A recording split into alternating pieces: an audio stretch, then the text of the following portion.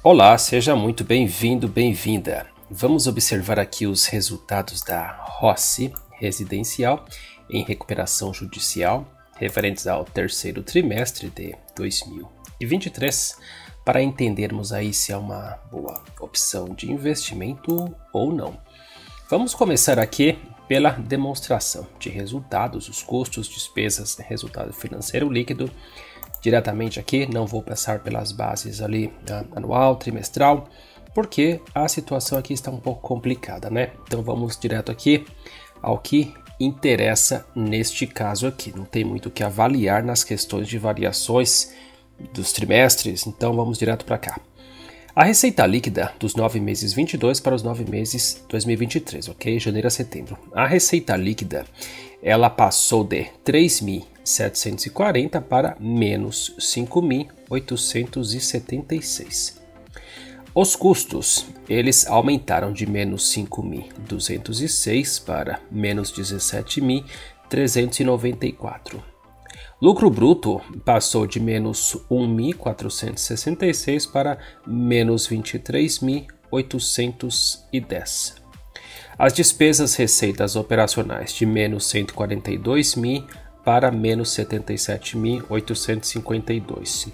Equivalência patrimonial teve uma variação aqui, passou de menos 4.955 para 4.877, uma variação aqui de negativo para positivo porém não ajuda muito, né, em função aqui dos grandes desafios.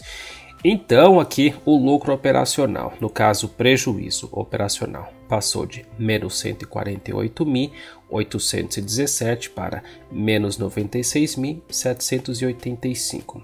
Não dá nem para dizer aqui que houve uma melhora, né? Porque a situação toda é muito complicada, né? Resultado financeiro líquido de menos 104.981 para menos 43.202. Prejuízo antes dos impostos de menos 253.798 para menos 139.987. Tivemos aqui variações positivas, porém, novamente aí, né?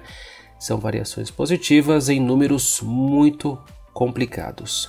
Impostos passou aqui de 4 mil, imposto de renda contribuição social, aqui passou de 4.400 para menos 943 mil.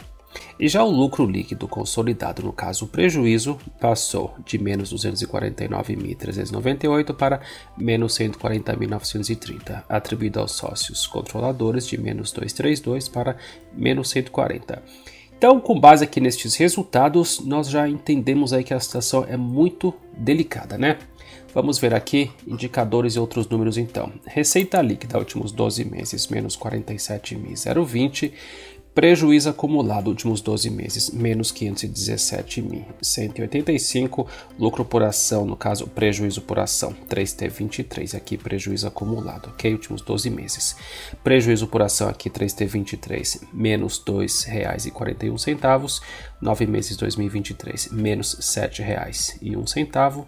E prejuízo acumulado, últimos 12 meses aqui por ação, menos R$ 25,86. Valor da ação utilizado para os cálculos R$ 3,51. PL negativo em função dos prejuízos. Preço valor patrimonial aqui menos 0,06, valor patrimonial por ação menos 62,42 em função aí do patrimônio negativo, ok? Capital social realizado não teve alteração, 2T23 para o 3T23, número de ações também permaneceu o mesmo, valor de mercado 70 mil, 200 mil, dividendos 0%, últimos 12 meses, resultado financeiro líquido negativo no trimestre, menos 9.464, prejuízo acumulado, 3.923.376 mil. Patrimônio líquido negativo, menos 1 bi 248 mil, Então vemos aí os números, uma situação bastante delicada, bastante complicada. Vamos ver aqui a variação do valor das ações. Elas começaram o ano valendo R$ 4,01, com base na última cotação aqui, R$ 3,51, equivale a uma perda de 50 centavos por ação ou menos 12,5%. Um ano atrás elas valiam R$ 2,90, com base na cotação 3,51, equivale a um ganho de 61 centavos ou 21% a mais, ok? Ela subiu aí 2023, pegando as caronas do mercado, né? Pegando aí as altas do mercado, não necessariamente com base nos resultados dela, né? Se a gente observa aqui, vamos ver aqui ó, do 4T 22 para 1T23, prejuízo aqui, ó, receita líquida negativa menos 41, passou para menos 27. O prejuízo aqui reduziu de menos 376 para menos 48. Então, ainda assim, né?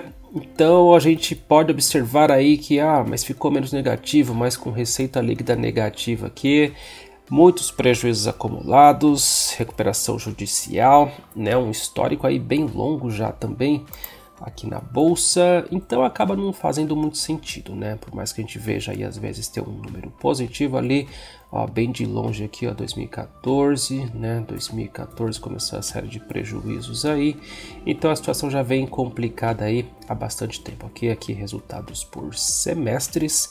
Então é uma longa história, uma das naftalinas aqui da bolsa, uma das vovozinhas da bolsa. Então já está há bastante tempo com um histórico bastante complicado. Então você olha aqui pelo gráfico, né? Aqui 2022, chegou lá a valer dos 12 reais. Vamos colocar aqui. Teve grupamento de ações, ó, de lá para cá não teve grupamento de ações, então realmente ela estava lá nos 13 reais 2021 com a Selic aí, né, subindo em 2021 e muitas ações subindo também, né, no começo de 2021, com a Selic, competindo com a Selic.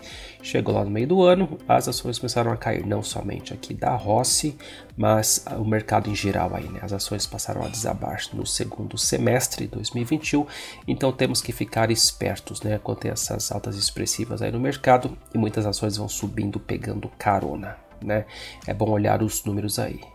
Então, é isso que eu tenho para falar em relação a Rossi. Se você gostar, por favor, curta o vídeo, deixe o like, inscreva-se no canal caso não esteja inscrito ou inscrita. Desejo muita boa sorte para você, boa sorte para Rossi, sucesso para todos e até a próxima.